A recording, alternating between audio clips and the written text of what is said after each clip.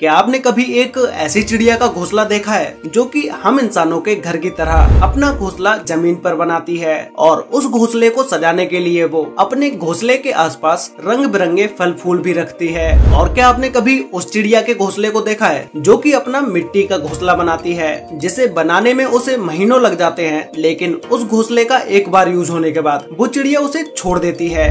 तो गाइज़ आज के इस वीडियो में मैं आपके लिए दुनिया की दस ऐसी चिड़ियों के घोंसलों के बारे में बताऊँगा, जिन्हें देखने के बाद आप भी चौंक जाओगे। तो गाइज़ वीडियो को एंड तक ज़रूर देखना, क्योंकि आज की इस वीडियो में आप सभी को बहुत ज़्यादा मज़े आने वाले हैं। तो चलिए स्टार्ट करते हैं हम अपनी आज की इस वीडियो को। Top ten most amazing nest build by bird guys इस वीडियो को स्पॉन्सर्ड किया है क्वाइन स्विच कुबेर ऐप ने, जो की इंडिया का सबसे बेस्ट क्रिप्टो ट्रेडिंग प्लेटफॉर्म है। नंबर टेन पर है कॉमन टेलर वर्ड स्पैरो जैसा दिखने वाला ये पक्षी ज़्यादातर हरी भरी जगहों, जैसे जंगल गार्डन के आसपास ही पाया जाता है ये पक्षी अपना घोसला कोई नॉर्मल वर्ड्स की तरह नहीं बनाते, जैसे पेड़ों पर लकड़ियों को इकट्ठा करना ये टेलर वर्ड अपना घोसला पेड़ के पत्तों में बनाती है, जो कि इनमें एक अलग ही कला है ये अपना घोसला बनाने के लिए पहले एक पेड़ पर बड़े बड़े पत्तों को ढूंढती हैं और बड़े पत्ते मिलने के बाद ये तीन पत्तों को स्पाइडर सिल्क से आपस में सिल देती हैं। सिलने के लिए ये सबसे पहले पत्तों के किनारों पर अपनी चोट से छेद कर देती हैं। उसके बाद उन्हें स्पाइडर सिल्क से सिल देती हैं। उसके बाद ये अपने घोंसले के अंदर मुलायम सिल्क रखती हैं, जिससे कि घोंसला अंदर से स्मूथ रहे और इनका घोंसला एक कोन की तरह दिखाई देता है। इस चिड़िया की ये कलाकारी देखने में एकदम ही अजीब है।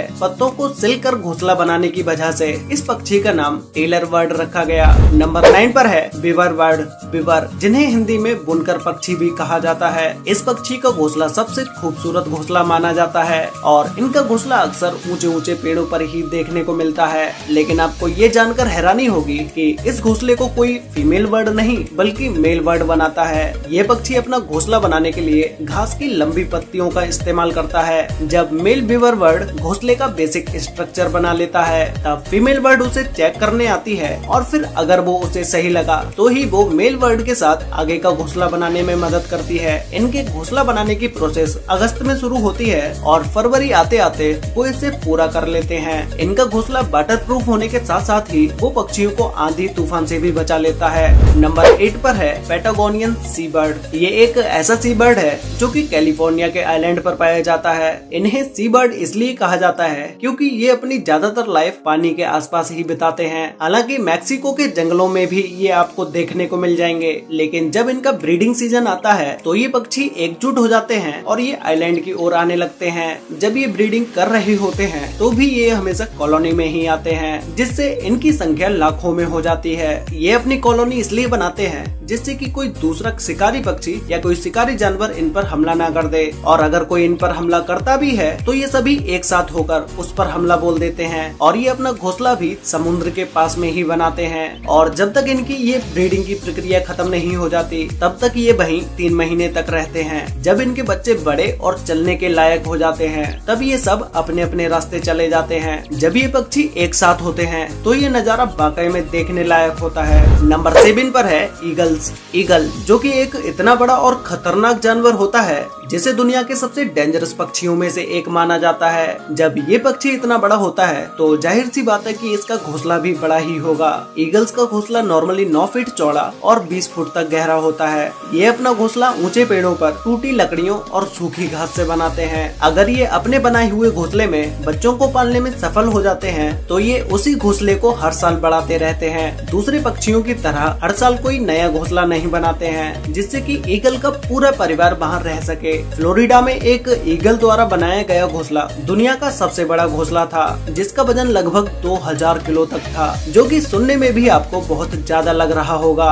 गाइस आज कुछ बेसिक फैक्ट्स के बारे में बात करते हैं। आप में से बहुत सारे लोगों ने क्रिप्टो करेंसी या बिटकॉइन के बारे में तो ज़रूर सुना ही होगा। लेकिन एक फैक्ट ये भी है कि कुछ लोगों को इसका कोई आइडिया नहीं और वो फिगर आउट भी नहीं कर पाते। सही इन्वेस्टमेंट अपॉर्चुनिटी या इन्वेस्ट करने का सेफ़ एंड सिक्योर ऑप्शन आज मैं आपको ऐसे ही एक सेफ़ एंड सिक्योर एप्लीकेशन के बारे में बताने जा रहा हूँ, जिसका नाम है क्वाइन स्विच कुबेर ऐप जो कि सबसे अच्छा और सबसे तेज क्रिप्टो ट्रेडिंग प्लेटफॉर्म है। इसमें आप हंड्रेड रूपए ऐसी इन्वेस्टमेंट स्टार्ट कर सकते हैं और इस ऐप का इंटरफेस बहुत ईजी है, जिसमें आप अपने पैसे जब चाहे तब विड्रॉ कर सकते हैं और इस ऐप में आप twenty four by seven trading कर सकते हैं और इसी के साथ ही साथ आपको twenty four by seven coin switch Kuber app की तरफ़ से सपोर्ट भी मिलता है। तो अभी डिस्क्रिप्शन में दिए गए लिंक पर क्लिक करके डाउनलोड करो क्वाइन स्विच कुबेर ऐप को, जिसे आपको अभी डाउनलोड करने पर मिलेंगे पचास रूपए के फ्री बिटकॉइन और ये ऐप इंडिया का सबसे ट्रस्टवर्दी क्रिप्टो ट्रेडिंग ऐप है।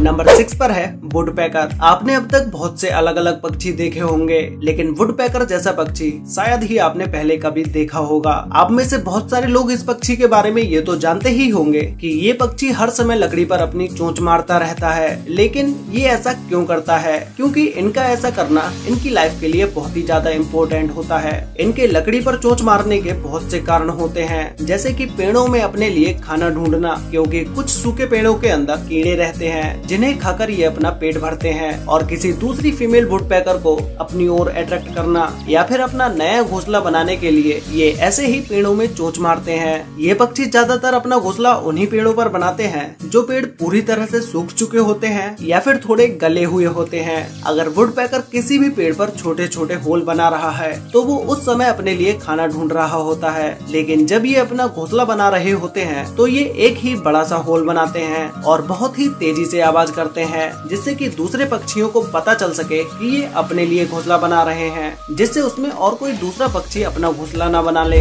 नंबर फाइव पर है हमिंग बर्ड हमिंग बर्ड का घोसला देखने में एक छोटे से कप की तरह होता है, जिसे फीमेल हमिंग बर्ड दिन भर में कई घंटों काम करके बहुत मेहनत से बनाती है। इस घोसले को बनाने के लिए हमिंग बर्ड को पाँच से सात दिन लगते हैं। ज़मीन से तीन से सात फीट की ऊंचाई पर इस घोसले को पेड़ों की पतली डाली पर रेशम और स्पाइडर सिल्क से बनाया जाता है। घोसला पूरा होने के बाद हमिंग बर्ड इस घोसले को बाहर से हरी पत्तियों से ढक देती है, जिससे कि ये पेड़ पर किसी भी शिकारी पक्षी को दिखाई ना दे। इस पक्षी का घोसला बहुत ही ज़्यादा मुलायम होता है और इस बर्ड के घोसले की एक सबसे इंटरेस्टिंग बात है कि ये घोसला स्ट्रेचेबल यानी कि इलास्टिक जैसा होता है, जो कि ऐसा घोसला है जिसमें इसके बच्चे जैसे जैसे बड़े होते जाते हैं। वैसे वैसे हमिंग बर्ड इस घोसले को स्ट्रेच करती जाती है, जिससे कि हमिंग बर्ड के बच्चे इस घोसले में अच्छे से रहें। नंबर फोर पर है। ग्रेट हॉर्नबिल हॉर्नबिल देखने में बहुत ही खूबसूरत और अट्रैक्टिव पक्षी होता है और जिसकी चोच काफ़ी लंबी और घुमावदार होती है। ये पक्षी अपना घोसला बनाने के लिए पेड़ का खोखला हिस्सा इस्तेमाल करता है, जिसमें आसानी से ये छेद करके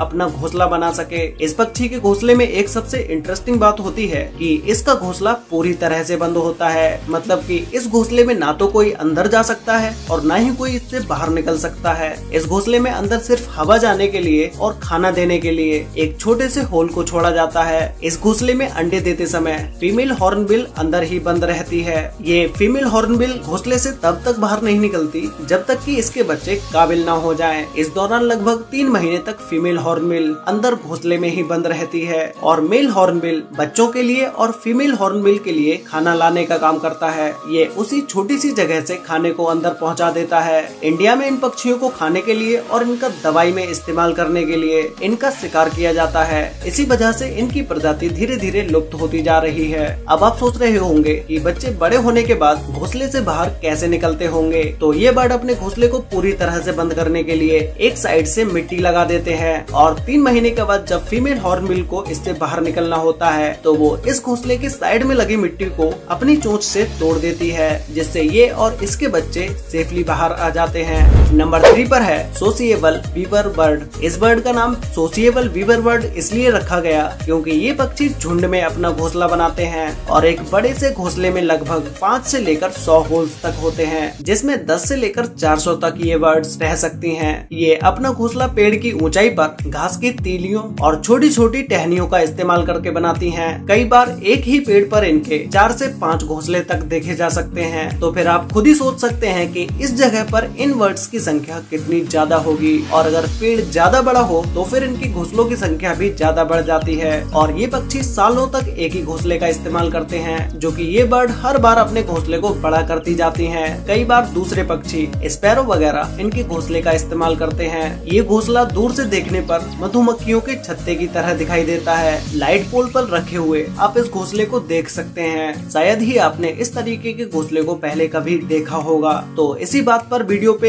एक लाइक तो बनता है। नंबर टू पर है इंजीनियर बर्ड। ये पक्षी मुख्य तौर पर साउथ अफ्रीका में पाए जाते हैं। इस बर्ड के घोसला बनाने की टेक्निक को देखकर आप भी दंग रह जाएँगे। इंजीनियर बर्ड का असली नाम रूफस हॉर्नर है, जो अर्जेंटीना का राष्ट्रीय पक्षी है। ये पक्षी कीचड़ और घास के छोटे छोटे तिनकों से अपना घोसला बनाता है और ये घोसला मिट्टी का होने के कारण बहुत ही मज़बूत भी होता है। इस बर्ड को अपना ये घोसला बनाने के लिए हज़ारों बार कीचड़ और घास की सूखी पत्तियों को लेके आना पड़ता है और इस घोसले का एक छोटा सा ही इंट्रेंस होता है। जिसमें सिर्फ़ यही पक्षी अंदर जा सकता है और बाहर निकल सकता है। और ज़्यादातर शिकारी पक्षी इस घोसले के अंदर नहीं घुस पाते हैं। एक बार घोसले का इस्तेमाल हो जाने के बाद ये पक्षी उस घोसले को छोड़ देता है, जिसके बाद दूसरा कोई पक्षी इस घोसले में आकर रहने लगता है। तो गाइज़ फाइनली अब बात करते हैं नंबर वन बर्ड के बारे में, जिसमें नंबर वन पर है बोबर बर्ड गाइज़ अभी तक मैंने आपको जितने भी बर्ड्स के घोसलों के बारे में बताया, उन सभी से ज़्यादा अमेजिंग नेस्ट इस बोबर बर्ड का होता है, क्योंकि ये अपने घोसले को इंसानों के घर की तरह ज़मीन पर बनाती है और इसके द्वारा बनाया गया ये घोसला एक झोपड़ी की तरह दिखाई देता है और ये बर्ड अपने घर को सजाने के लिए इसे जो भी रंग बिरंगी चीज़ दिखाई देती है, उन्हें ये अपने घोसलों में ले आती है, जिससे कि ये बर्ड अपने घर को सजा सके। अब तक आपने कभी ऐसी बर्ड के घोसले के बारे में नहीं सुना होगा, जो अपने घोसले को रंग बिरंगी चीज़ों से सजाती है। ये अपने घर को सजाने के लिए फल, फूल और उनकी पत्तियों का इस्तेमाल करती है। वैसे आपको इन सभी बर्ड्स के नेस्ट में से सबसे अच्छा नेस्ट किसका लगा? और क्या आपने इन सभी बर्ड्स में से किसी भी एक बर्ड का घोंसला देखा है? ये मुझे नीचे कमेंट करके ज़रूर बताना। तो गाइज़ आज के लिए वीडियो में बस इतना ही। वीडियो अच्छी लगी हो तो वीडियो को लाइक कर देना शेयर कर लेना अपने फ्रेंड्स और फैमिली के साथ, जिससे की उन्हें भी दुनिया के 10 ऐसे बर्ड्स के घोंसलों के बारे में पता चल सके। और गाइज़ आप में से बहुत सारे लोगों ने अभी तक चैनल को सब्सक्राइब नहीं किया है तो भाई अभी सब्सक्राइब कर लो और साथ में बेल आइकन को ऑल पर सिलेक्ट ज़रूर कर लेना, जिससे कि हमारी सारी वीडियोस की नोटिफिकेशन आपको सबसे पहले मिल पाए। तो मिलते हैं एक और नई इंटरेस्टिंग वीडियो के साथ। तब तक के लिए बाय